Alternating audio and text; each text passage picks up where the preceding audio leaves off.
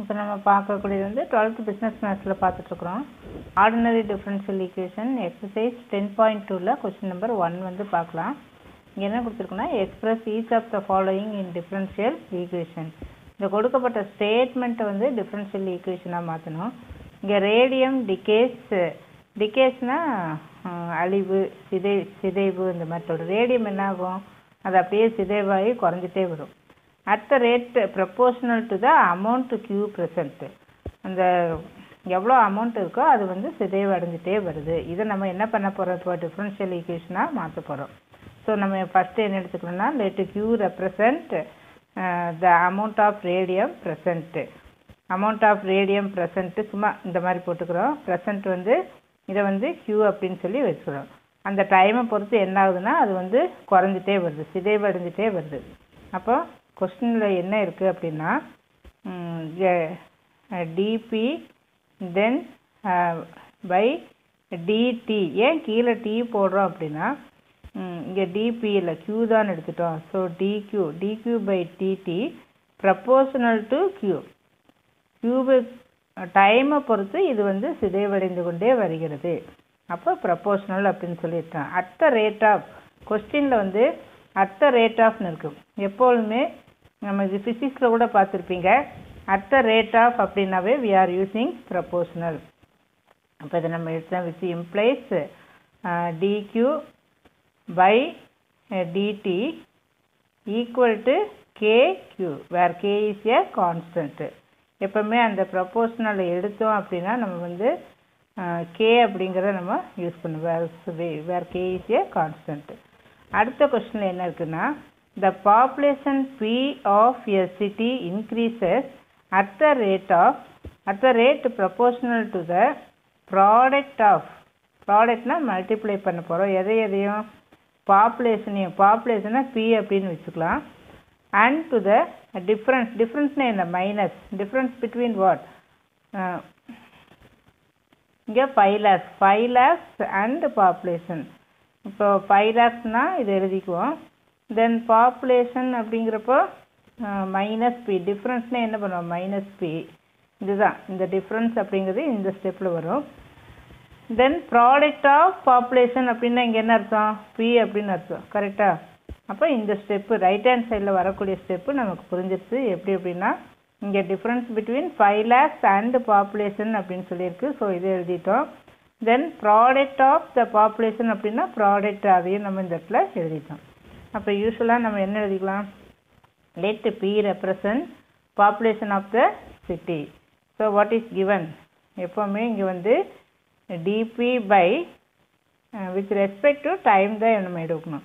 ஏன்னா அந்த டைமை பொறுத்து அந்த ரேட் ஆஃப் சேஞ்ச் வந்து மாறிட்டே வருது. அப்போ இந்த இடத்துல என்ன போட்டுக்கிறோம் ப்ரொபோஷனல் டு ஏற்கனவே இங்கே சொன்ன மாதிரி தென் இந்த இடத்துல ஃபைவ் லேக் மைனஸ் பி இந்த டிஃப்ரென்ஸ் அப்போ இந்த ப்ரொபோஷனல் எடுக்கணும் அப்படின்னா நம்ம என்ன போடுவோம்? DP by dt equal to k bracket இந்த ஃபைவ் லேக்ஸ் மைனஸ் பி அப்படின்னு சொல்லி இருக்குது ஸோ செகண்ட் பார்ட் ஓவர் நான் coming to the third one so question number த்ரீயில் பாரு. For a certain substance the rate of change ஒரு certain சப்ஸ்டன்ஸ்க்கு the rate of change of vapour pressure இந்த vapour pressure வந்து அதை பி அப்படின்னு வச்சுட்டோம் with respect to the temperature T is proportional to the vapour pressure and inversely proportional to the square of the temperature இங்கே உங்களுக்கு கொஞ்சம் confuse ஆகிற மாதிரி இருக்கும் எதுவுமே இல்லை. இப்போ வேப்பர் ப்ரெஷரை பின்னு வச்சுக்கலாம் தென் டெம்பரேச்சரை டி அப்படின்னு சொல்லி வச்சுக்கலாம். இங்கே ப்ரப்போர்ஷனேட் வந்து எந்த மாதிரி கொடுத்துருக்கு அப்படின்னா here it is proportional to the vapour pressure directly proportional to the vapour pressure that is P and இன்வெர்ஸ்லின்னா நம்ம ரெசிப்ரோக்கில் எழுதுவோம். Inversely proportional to the square of the temperature என்ன? இன்வெர்ஸ்லினா என்ன? ஒன் பைன்னு எழுதிக்குவோம். ஸ்கொயர் ஆஃப் த டெம்பரேச்சர் அப்படின்னா T square இல்லையா? Square of the temperature means T square அப்போ நம்ம இதை இது எப்படி எழுதிக்கலாம் லெட் பி ரெப்ரசன்ட் இது ஃபஸ்ட்டு கொஸ்டின் முடிச்சுட்டு அடுத்தது செகண்ட் கொஸ்டின் வந்துக்கலாம் let P represent the vapour pressure T represent the vapour temperature then what is given here it is dP by எப்போவுமே கீழே வந்து நமக்கு என்ன எழுதிக்குவோம் with respect to time dt proportional to pressure and inversely proportional to time sorry temperature it is given directly proportional to pressure and inversely proportional to uh, temperature அப்போ இந்த proportionate எடுக்கணும் அப்படின்னா நம்ம என்ன எழுதிக்குவோம் dp by dt equal to kp then கீழே வந்து t squared so here it is given vapor pressure வந்து mm, it is proportional to pressure and inversely proportional to the square of the temperature அப்படின்ட்டு இருக்கு now coming to the fourth question a saving amount pays eight percent ஒரு saving அமௌண்ட்டுக்கு வந்து eight percent interest கிடைக்குது per year one இயருக்கு வந்து eight percent then compound interest in addition to the income அந்த இன்ட்ரெஸ்டோட ஃப்ரம் அனதர் இன்வெஸ்ட்மெண்ட் வேறு ஏதோ ஒரு investment is credited to the amount continuously at the rate of rupees four hundred per year ஒவ்வொரு இயரும் four hundred rupees அந்த இன்ட்ரெஸ்டோட add ஆகிட்டே வருது. அப்போ பிரின்சிபல் என்ன ஆகும்னா சேஞ்ச் ஆகிட்டே வரும். இன்ட்ரெஸ்ட் ப்ளஸ் ஃபோர் ஹண்ட்ரட் அப்படிங்கிறது வந்து rate of change of principal so here it is given அந்த ரேட் ஆஃப் சாரி ஆர் கொடுத்துருக்கு. தென் இயர் வந்து one year so we are taking that P represent the principal இந்த saving amount R எவ்வளவு? Eight percent N வந்து one year so interest என்ன? Formula PNR by hundred இல்லையா?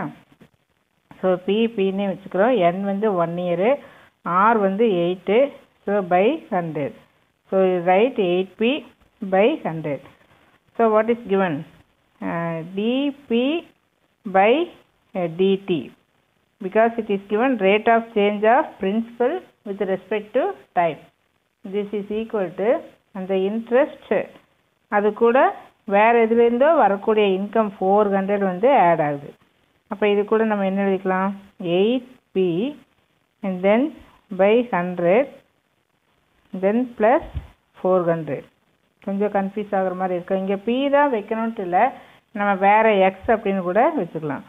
So இந்த இடத்துல வந்து let X represent the principal இந்த saving amount அப்படின்னு வச்சுட்டோம்னா நம்ம இந்த இடத்துல என்ன எழுதிக்கலாம்? DX by dt equal to eight X by hundred then plus four hundred நம்ம இந்த பிங்கிறதுக்கு பதிலாக we can use another notation also இப்போ இந்த ஃபோர்த்து கொஸ்டின் வந்து கொஞ்சம் சரியாக சொல்லாத மாதிரி தோணுது எனக்கு. இப்போ இதில் என்ன கேட்டிருக்குன்னா அந்த பிரின்சிபல் வந்து ஒவ்வொரு இயரும் மாறிட்டுருக்கு. அதாவது இன்ட்ரெஸ்டோட அந்த ஃபோர் ஹண்ட்ரட் ருபீஸ் வந்து ஆட் ஆகுதா? அப்போ நம்ம பிரின்சிபல் தான் சேஞ்ச் ஆகிட்டே வருது. அப்போ பிரின்சிபல் சேஞ்ச் ஆகிட்டே வர்றப்போ நம்ம என்ன எழுதணும்?